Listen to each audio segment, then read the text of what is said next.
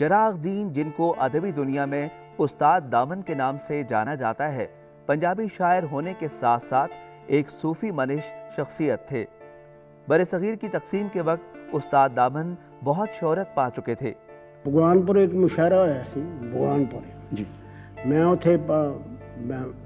दर्जी का काम करता सा तो मियाँ बथखार दिन आया मास्टर बाप की दुकान थे ਉਹ ਕਹਿਣ ਲੱਗਾ ਤੂੰ ਇਹ ਮੁੰਡਾ ਜਿਹੜਾ ਹੈ ਕੀ ਕਰਦਾ ਹੈ ਉਹ ਕਹਿਣ ਲੱਗਾ ਮੇਰਾ ਕਾਰੀਗਰ ਹੈ ਕਹਿਣ ਲੱਗਾ ਸਾਡੇ ਮੁਸ਼ਾਇਰੇ ਚ ਰਾਤੀ ਦਸਮ ਬੋਲੇ ਮੈਂ ਬੋਲਿਆ ਉੱਥੇ ਮੈਂ ਮੁਖਤਸਰ ਕਰਨਾ ਗੱਲ ਤੇ ਜੇ ਮੈਂ ਬੋਲਿਆ ਤੇ ਉਹ ਸਾਰੇ ਦੇ ਕ- ਜਿਹੜੇ ਸ- लीडर हो तो ख़त्म हो गए मैं ही मशहूर हो गया आज़ादी के बाद उनका ज़्यादातर कलाम गैर जमहूरी इकदाम के ख़िलाफ़ था उन्हें शायर आज़ादी और उस्ताद के अलकाबात अता हुए।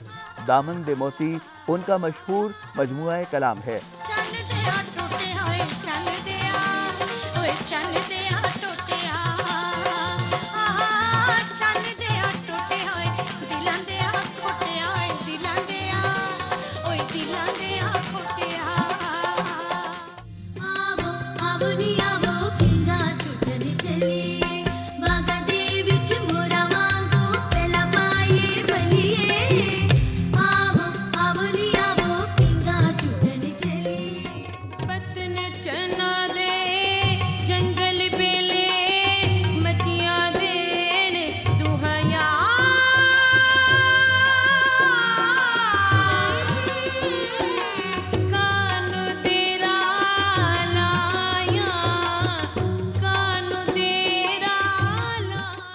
ਨਾ ਸੋਨੇ ਦਾ ਨਾ ਚਾਂਦੀ ਦਾ ਨਾ ਪਿੱਤਲ ਭਰੀ ਬਰਾਤ ਮੈਨੂੰ ਧਰਤੀ ਕਰੀ ਕਰਾ ਦੇਵੇ ਮੈਂ ਮੱਥਾ ਸਾਰੀ। ਦਾ ਜਿਰ ਦਿਹਾੜੇ ਚੰਨਾ ਵੇ ਮੈਂ